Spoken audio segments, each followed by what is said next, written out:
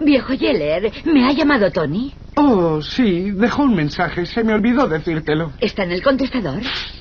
Lo he borrado. Muy bien. Fuera. No, mamá. Yeller es mi perro. Yo lo haré. Por favor, volverá